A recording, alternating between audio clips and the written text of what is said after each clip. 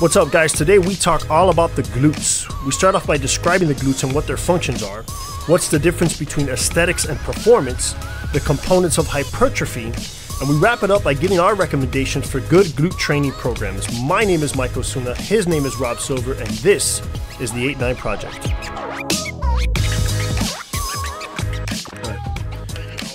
All right, Rob. So here we go. So this is an 8NINE quickie. So we got to get right into it. Today we're going to talk glutes. So let's start off with, and I'll, I'll, let you take the lead on this. Let's start off with what are what are the glutes? What are the three muscles of the glutes, and what are their purposes? Yeah. So when we talk about the glutes, and to the common exercise enthusiast or common person, when people refer to their glutes, they're usually referring to specifically the largest muscle of the glutes, which is the glute maximus which functions as a hip extensor. So it basically opens up your hips. So when you're standing up out of a chair, your knees extend and your hips extend. The glutes are one of the muscles responsible for extend, or the glute maximus specifically is responsible for extending your hips, making you stand upright. There are two smaller glute muscles, which because of this fascination with the peach have become more common colloquial terms in your gyms and, and whatnot. Glute medius and glute minimus. Those are going to be your smaller muscles of the glutes, hence the terms maximus, biggest, medius, medium, minimus, smallest, easy to remember. The glute medius and glute minimus, they their function's kind of unique, not unique in the body, but unique compared to the glute maximus in the sense that the glute medius and glute minimus do hip abduction or abduction. That's if you're standing tall and you raise one leg out to the side, that would be hip abduction, abducting away from the body. But at the same point, they also do hip external rotation. So if you're standing tall, raise your right leg up a little bit and then externally rotate or point your toes out to the side. If it's your right foot, toes out to the right. That's hip external rotation, glute medius and glute minimus. However, when your hip is flexed, your glute med and glute minimus now function as hip internal rotators. So the moral of that story is their function, and this can go for a lot of muscles in the body, their function is going to be determined by what's going on at separate joints. So if you really want to get into it, you have to understand not just what the muscle is at one joint position, you have to understand where it is during movements. Right? So if you're in the bottom of a squat, your hips are flexed, glute med and glute minimus are going to function more as hip internal rotators. But to get you to get full extension at the top and lock out your hips, now they're going to be more as a external rotators. So their function changes throughout a, a single movement. Got it. Let's let's try to um, divvy up these two demographics of between athletes and aesthetics, right? So a girl, even a guy that wants to build their glutes, make their butt look better, and then for performance wise. So for let's talk specifically performance wise, the athlete.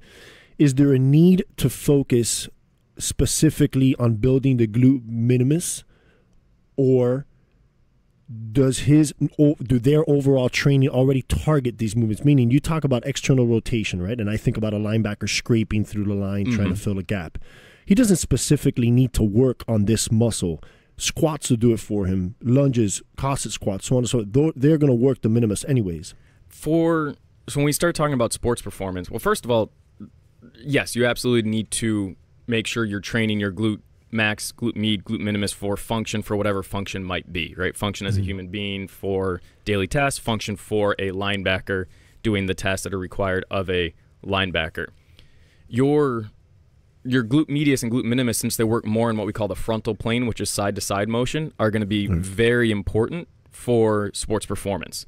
So what that means is if you are training athletes, can we stop for a second here? Yeah, because I want to be specific here on, on, on, the term frontal plane. So there are three, just for our audience, there's three type of uh, types of planes. There's a sagittal, transverse, and frontal, right? Correct. And frontal plane is when you're moving side to side. So your hand, if you put it by your pocket and you lift it up away from you, right? That's the frontal That's plane. Frontal Sagittal is in front of you, like if you're doing a lunge, mm-hmm. and transverse is basically you're spinning your upper body away from your lower body. Correct. Rotation. Rotation. So generally, okay. rotation is going to be transverse plane. Anything that's movement forward or backward, like a forward or reverse lunge, like a squat, is going to be what we call sagittal plane. Most common exercises are going to be sagittal plane.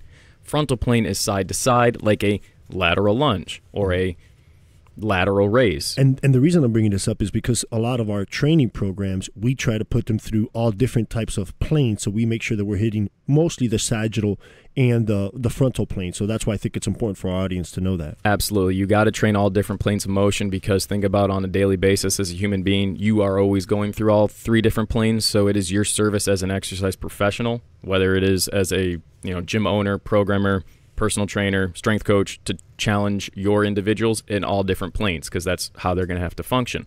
For our linebacker, Mm-hmm. there's going to be or for our linemen having to cut or pull, they're going to there's going to be an excessive amount of power related frontal plane movement. So you have to target frontal plane. Don't target glute medius or glute minimus specifically in isolation as a bodybuilder might. Okay. Target it as an athletic movement where you're doing ballistic, which kind of means jumping, Right. lateral lunges, lateral And squats. that's what I wanted to get to, right? lateral exactly. kettlebell swings. Right. So they're going to target an area. So as opposed to now, let's talk a little bit, of, like you said, about our bodybuilder physique or the girl that just wants to, you know, pop her booty out a little bit more. She would focus a little bit more on those, you know, some, maybe some sideline clams or some lateral banded walks in order to target those to fill out her butt, if you will. Correct. Yes, you can. You know, the I'll always for most people, unless you're unless you are getting up on a stage and are going to be really nitpicky with the way your peach is looking, Right.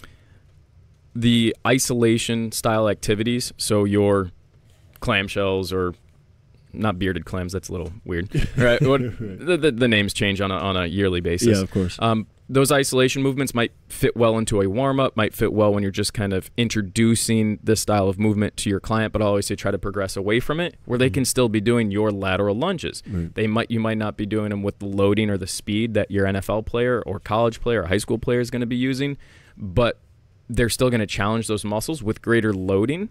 You know, even if the loading is just body weight, that you'll get better growth and development of those muscles through the more advanced body weight lateral lunge or lateral squat compared to the clamshells. Right. Clamshells will have a time and a place, but the goal is eventually to always progress them away Of course. for your for your women, for your men that are just looking to fill Yeah. in their their Banana Republic traveler pants. Right, and it's knowing the individual and how you're going to start them off. It's a lot easier to teach a novice how to, you know, lay on their left side, put a band by their knees, and just lift one leg away from the other, as opposed to teaching them a Cossack squat or making sure that everything that they're doing is is performed correctly. So there's there's levels to this. So, um, so we spoke a little bit about the two different individuals. Let's let's wrap this up, Rob. If you had to uh, program, and I know that you're coming out with a a, uh, a routine now.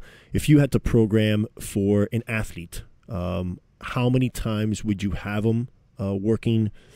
I'm not going to say specific glutes because we already discussed that we're not going to specifically work on the glutes. We're going to work on movements, hmm athletic performance movements that's going to obviously develop their glutes. Because if you look at, I'm going to use our specific community. If you look at the CrossFit community, you being one of them, these are some of the nicest asses that you've seen on athletes everywhere. I'm right? blushing. Yeah, I mean, I remember Wodapalooza. Everybody, uh, you know, complimenting on, damn, that white boy's got a booty. Yeah, and Rob. And, and if you look at this across the board, the girls and the guys, they all have these well-developed glutes, and it's because of all the functional movements that we do. hmm I would argue, I would say that most CrossFitters don't target.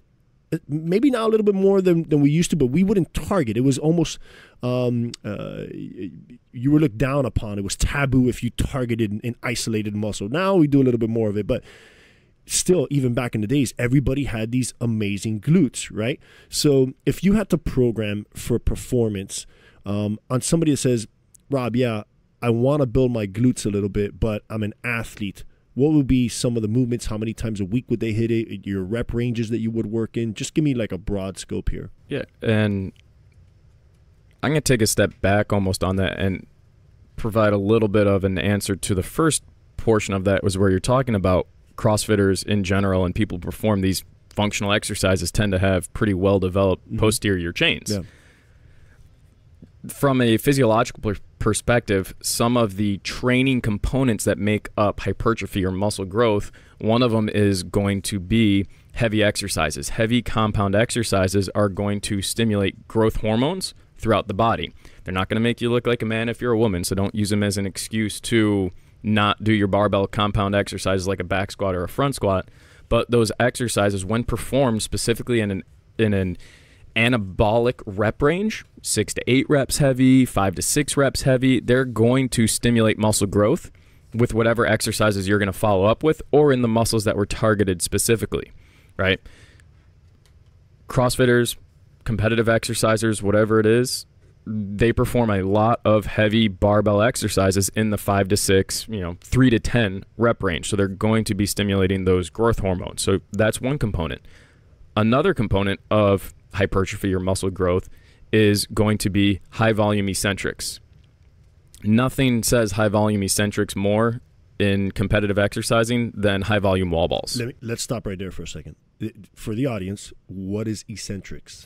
So think about I'm going to assume now that if you've performed wall balls before and you've probably been sore from doing wall balls before, you don't get sore from the concentric portion or where you're standing up and throwing the ball. is from when you are catching it and then deaccelerating it back down into the bottom of your squat. That's where you get sore.